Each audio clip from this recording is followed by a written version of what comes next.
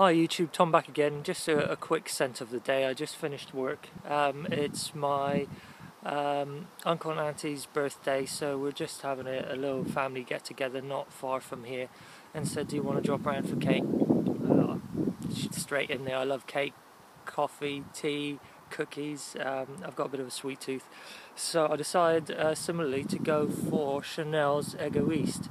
Um, cinnamon, sandalwood, very sweet um, with a bit of a rosy tint, but it's quite fresh as well. It's it's a hot day today, not too hot, not too humid, with um, a bit of a, a, breeze. So I thought this would suit. I just felt like something a little bit more um, unique and a bit different from the the summer norm. So um, that's me. And I'm just gonna uh, say goodbye. So rate, comment, subscribe. Let me know what you're wearing and um, I'll see you soon. I'm gonna have a couple of videos up. I know I've been away, um, so look forward to putting those up, getting your opinion. So see you soon. Take care, guys.